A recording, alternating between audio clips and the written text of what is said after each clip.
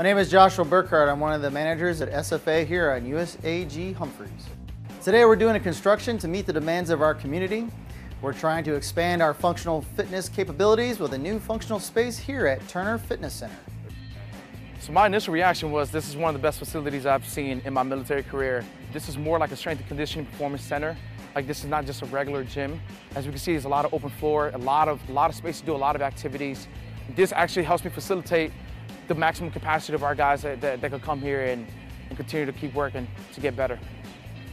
So today my workout was consistent of log presses, uh, a lot of pressing movements. I had to have the conditioning, I had to have the, some type of endurance. Obviously got to be strong, right? So that's, that's how my training protocol is revolved of. I'm Sergeant Vasquez and this is how I squash the curve.